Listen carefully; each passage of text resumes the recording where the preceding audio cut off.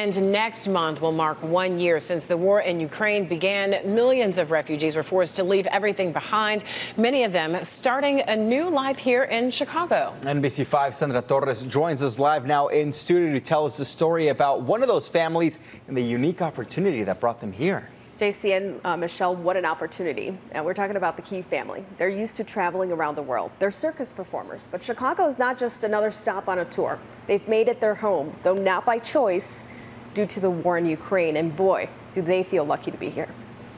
Viktor Kee and Ulzii Mergen are not only partners on stage, they're also partners in life. We have two kids that travel with us all the time, and uh, we perform it as uh, one package. Viktor is a master juggler from Ukraine, and Ulzii is a contortionist from Mongolia. They've traveled around the world, but a few months ago, Chicago became their home when they joined the Cabaret ZaZou at the Cambria Hotel downtown. Cabaret style dinner experience with uh, tons of entertainment. Viktor and Ulzii say they feel lucky to be a part of such a unique production, but most importantly, they feel blessed to be together again after a very difficult year. It's been a roller coaster for sure.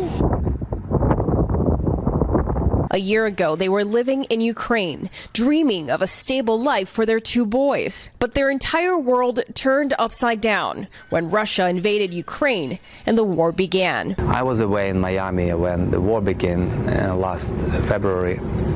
But my wife and two of our babies were in Ukraine. As a mom with the two kids, um, he, the little one was seven months old, and the this case obviously.